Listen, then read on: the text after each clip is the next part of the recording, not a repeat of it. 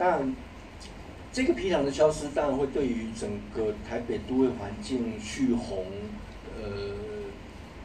最大的冲击还是在于蓄水蓄洪的这个这个多的冲击。但是这个湿地，如果这个这个皮塘，呃，现在已经不是湿地了。如果可以借由一些工程手段，让这个皮塘的这个地位又重新再恢复起来的话，我想还是要从呃其他生物利用的这个角度来来观察。呃，我我觉得永顺皮这个七地，我我是用七地的一个概念来谈这件事情。呃。永顺皮不应该只是用人类很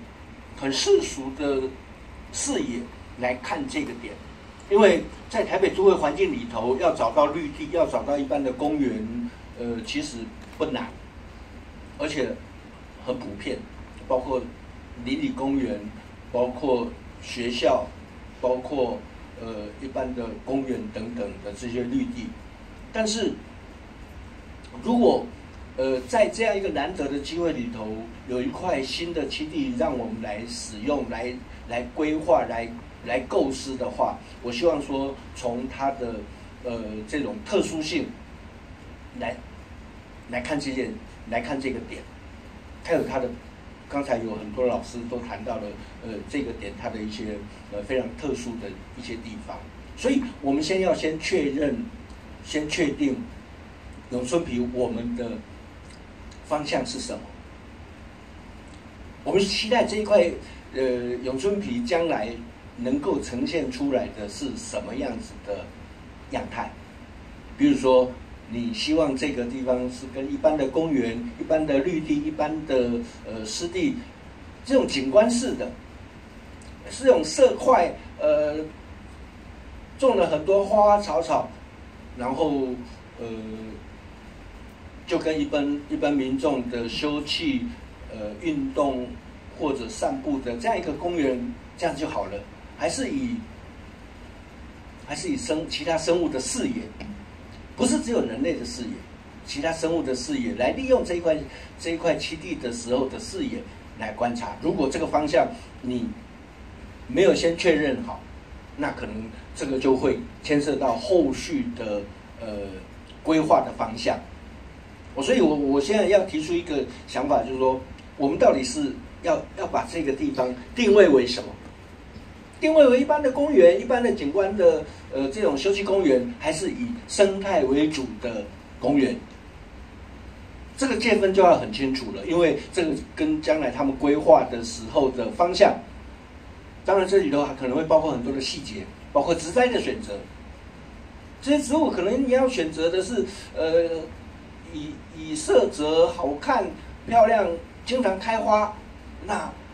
这个一定是很多的这种景观植物。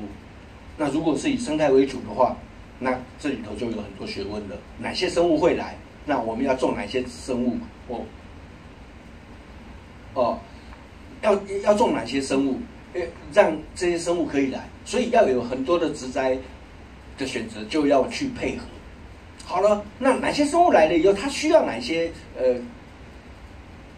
维栖地？哪些多孔系的方的的这样一个营造？还有呢，这里头水的深度要多大？当然，水的深度又跟刚才的滞洪量有关系。好，所以呃，这样子的一个一个构想，如果可以除了人类的视野以外，用更高角度的其他生物在利用这一块湿地，利用这一块呃，我们重新再修补起来的这块基地的这样一个视野来来观察这样子的一个呃，让这个这个永春皮的一个重生的话，我我觉得那个呃，先确确认我们的方向是什么，应该是目前最最紧要的课题。好，那呃。目前在很多的这些都会公园生态化的呃这个议题里头，呃，最近应该大家都很清楚，像大安森林公园、像木栅翠湖，那个都是在仅存的这些绿地里头有条件，然后借由很多的职工参与，然后把把这个把这个基地重新恢复、重新修补、重新保育的，我我不谈富裕了，我重新把它保育下来的一个很重要的几个案例。那这些案例，呃，在将来的永春皮这个地方，我希望也可以作为参考。这里头很重要的一个精神是民众的参与、自工的参与。也就是说，在这个永春皮将来，如果我们是以生态保育为最终的目标的话，那社区的参与一定要参与其间。当然，政府的财力的经费的资助，或者 NGO 的参与，这个部分都要有很多的配套措施，包括呃要有中长期的这种呃经营管理的这种计划，让。让这个池子做好了以后，而不会只是呃杂草丛生，然后呃很多民众不敢来的这样一个环境，所以这个地方我们我是给予很多的期待。那这个期待不晓得会不会太多，我不知道。但是我是希望说，先确认方向，以生态为主。我是希望说，不要再。不要再做一些没有特色的公园了。所谓的没有特色的公园，是因为现在已经很多了。那我们期待这个永春永春皮的这一个公园，它有它的独特性，它有它的特色存在。好，我我就目前的这个呃，对目前的这样一个课题提出我的看法。以上，谢谢。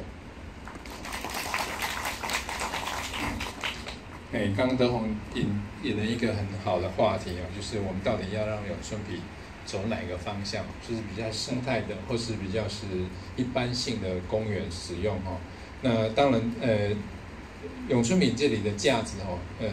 刚刚我们大概没有提到，原来它的都市计划联系是住宅哦，虽然它是原来是军营，但它的都市计划是住宅用地。那市政我觉得这个地方呃的开发不应该朝住宅啊。都是计划都的委员也都支持把它变成是一个用现在目前朝湿地的方向来做，这也是呃值得很多呃很多国际上的肯定哦。就我们希望这些事情也会被看到，是因为当变成住宅的时候，那价值是怎么样？看起来刚呃那个黄一波也提到了价值跟价格了，哎，价格看起来好像变成住宅可以卖一些呃租租屋啦，很很多很多的经费。但是它价值而言，呃，这两件事情就不一样哦。那所以我们从价值的角度来看，对永续价值来看，从文史的角度来看，其实回到以前是皮的这种感觉，然后更能够呃使用在生态跟溪地跟民众的那个休闲之后之间呢，会得到一些平衡。哦，这个是一个很重要的思考，也可以提醒大家可以思考一下，下午我们做讨论的时候可以更深入。那从它的特色来看的话，呃，其实我觉得文化是一个开始哦，所以你刚刚其实几位老师也都有做一些回应。那从呃历史跟文化面向，呃，郑老师可以在这个角度也可以提一些哦一一些提醒